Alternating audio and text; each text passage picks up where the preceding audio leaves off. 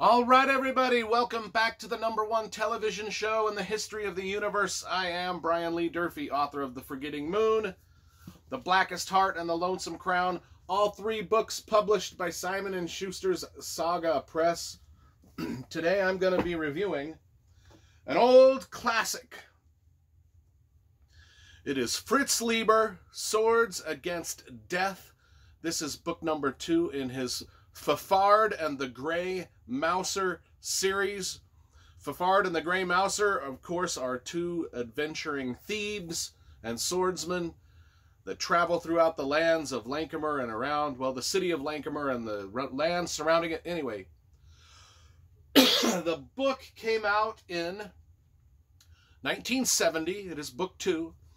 I did review already the first book in this series, which is titled um, Swords and Deviltry.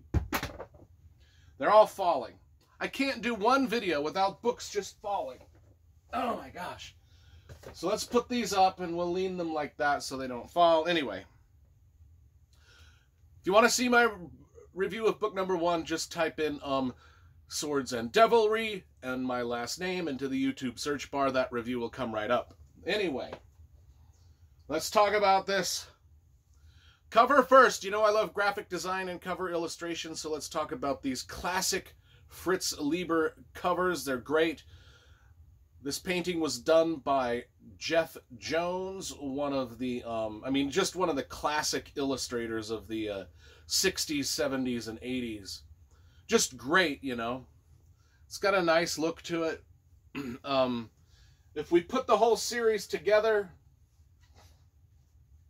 um, they all look pretty good on the shelf except for the final volume, which has a completely different, um, completely, I don't know why they just designed it differently. I mean, publishers sometimes, you know, make stupid decisions. Um, but every, uh, and otherwise, well, if you want to get the whole set, the Ace pub put out, it's it's going to look like this. All the covers are going to have a similar theme with a similar illustrator until you get to the final book, and then it's just a shit mix of nonsense. Not sure why. I just, you know, it's just one of those uh, pet peeves that I've got. We'll hope those don't fall down there. Anyway, Swords Against Death, let's talk about this. Uh, Fafhrd and the Grey Mouser. Fafhrd is the giant sort of barbarian guy. Okay, so one of the covers, this cover was done by Michael Whelan. So this gives you a good idea of the characters we're dealing with. Fafhrd is the big guy, sort of the barbarian, and the little guy is the gray Mouser sort of the thief. But they're both thieves. They're both, in fact, they're the uh, most uh, iconic thieves in the history of fantasy. Now, when I first read these books, and these are uh, books that I bought when I was a kid, I it got me hooked on thieves and thievery. I mean, these guys are the reason there is a thief class in Dungeons and Dragons. I mean, Fafhrd and the Grey Mouser, they were just the iconic thieves of fantasy world for at least 20 years. And uh, every fantasy fan should probably read these books because they're very, they read, the prose is very much like um, Robert E. Howard's Conan novels. So if you kind of like those type of stories, that's what you're going to get. It starts out, this book number two starts out with um, uh, our thieves. It just kind of gives a basic background of uh, their thievery and the years of adventuring. Story. There's about two or three to five pages of them just it, it, it, just talks about what they've been going through since book one, which is like years of thievery, you know, hiring themselves out as mercenaries and bodyguards and this, that, and the other. And then they get involved in this, uh, this uh, Jewels of the Forest like chapter where they, uh, where they're, they're, they're it's kind of like an Indiana Jones esque action tale. Um, it involves a peasant girl and skulls and jewels and uh, treasure hunting, and uh, it's just got a lot of action and adventure and thievery in it. And then um, they, we kind of get into the Thieves Guild part of the uh, story. Um, a chapter called Thieves House, and these chapters are kind of like little short stories just strung together to form a cohesive um, novel. Um, they all sort of tie into each other, but there's and there's some some plot threads that sort of weave. But they, you can tell that they were all written as like individual short stories, but they all kind of fit together.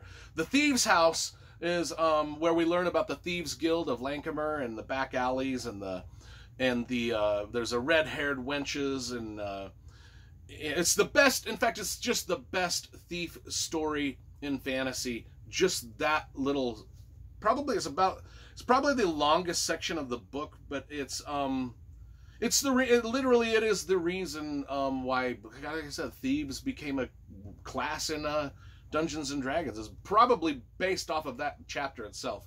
Um, and then and then our adventurers they go on this kind of long journey, uh, long voyage on a ship. Uh, they're traveling through gothic gothic lands of darkness and um, the seven black priests that they meet and creepy dolls, creepy like dolls and uh, volcanoes and lava flows and ice, uh, ice and glaciers and I mean it's just this little book is packed with so much adventure, reptiles and and um, beguiling women and uh, you know it's ghosts.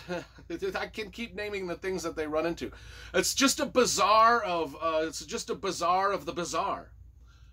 Uh, bazaar of the bizarre. Yeah, if that makes sense. They're, they're, there's the same word, but they mean, and they're spelled differently, but they mean to. It's a bazaar of the bizarre. Um, it reads like that. I mean, the whole book just reads like that. It's just cool fantasy. It's just cool, old school, well written fantasy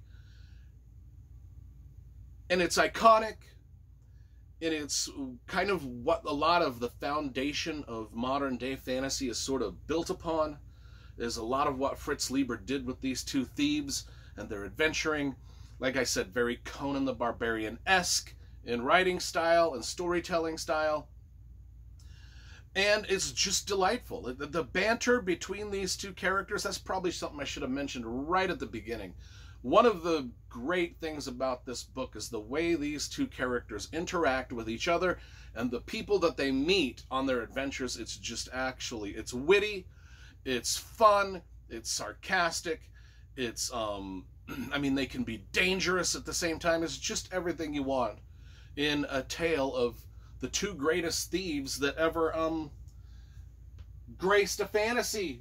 I mean, and here they are. Like Michael Whelan did the uh, quintessential uh, painting of these guys. Anyway, I give the uh, Swords Against Death uh, 9.5 out of 10. I only wish the stories were longer. Um, well, I guess I can't complain really because look how many stories there are. Anyway, that's my review of that.